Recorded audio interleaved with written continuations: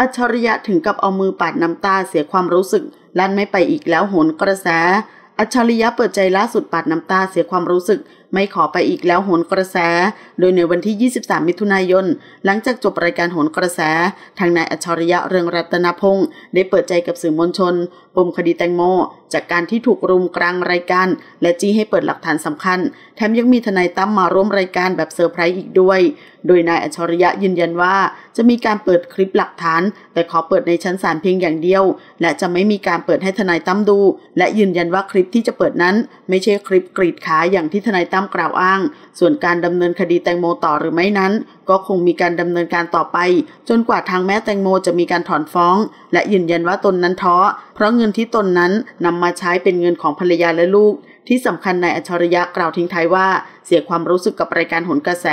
และจะไม่มาออกรายการนี้อีกแล้ว เพราะเสียความรู้สึกเป็นอย่างมาก เหมือนนำตนเองมารุมยำกลางรายการทำไมพี่หนุ่มกัญชัยถึงทำแบบนี้ จริง ๆ ตนต้องบินไปภูเก็ตวันนี้ แต่ได้สละเวลายกเลิกตั๋วเครื่องบินมาออกรายการหนกระแส ไม่มีคำว่ามิตรแท้ แต่ไม่ขอเปิดให้ใคร ยืนยันว่าคลิปปมหลักฐานมีจริง เป็นคลิปจากภาพกล้องวงจรปิด มีคนส่งมาให้ จะไปเปิดในชั้นศาลเท่านั้น ในกรณีถ้าแม่แตงโมไม่ไปถอนฟ้อง ย้ำอีกครั้งตนไม่เคยพูดว่าเป็นคลิปที่เห็นการเอามีดกรีดขา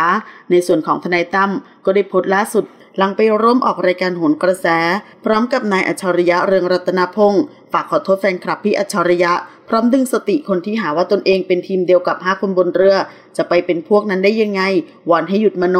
โดยทนายตั้มโพสล่าสุดว่า วันนี้ต้องขอโทษแฟนคลับพี่อัดหลาย ๆ ท่านด้วย ที่มีการย้ำเรื่องคลิปมีดกรีดขาในรายการหลายต่อหลายหนเพราะในมุมมองของทนายอาชีพ และเป็นรุ่นพี่ของน้องแตงโม คลิปหลักฐานตัวนี้คือสิ่งที่จะทำให้คนกระทำความผิดได้รับโทษ ถ้ามีจริงจะกลายเป็นคดีฆาตกรรมทันทีครับ ผมมาวันนี้แบบไม่ได้แจ้งล่วงหน้าผมก็เสี่ยงถูกด่า แต่อยากมาแสดงจุดยืนให้ทุกคนเห็นว่าตั้งใจมาช่วยจริง ๆ แต่ในการช่วยใด ๆ มันต้องเริ่มด้วยหลักฐาน ไม่งั้นมันไปต่อไม่ได้ เรื่องของคดีความระหว่างผมกับพี่อัด ก็ถือเป็นเรื่องส่วนตัวที่จะไม่นำมาเป็นประเด็น แต่เรื่องของแตงโม คือเรื่องที่เรารวมพลังกันเรียกร้องความเป็นธรรมให้กับเธอได้